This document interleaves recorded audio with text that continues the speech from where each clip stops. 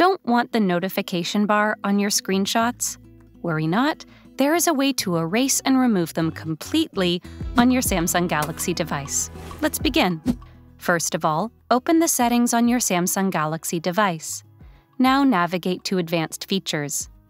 Inside, scroll down and look for Screenshots and Screen Recordings. Tap on it.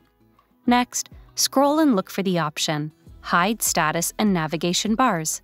Enable the option. So, now whenever you're taking any screenshot on your Galaxy device, those screenshots won't have the notification bar on them. Just see the side by side difference. The first one is with the option disabled, and the second one is with the option enabled. Nifty trick, right? Hope this video helped you learn something new. For more tech tips and tricks like these, subscribe to Guiding Tech and discover one of these videos, handpicked just for you.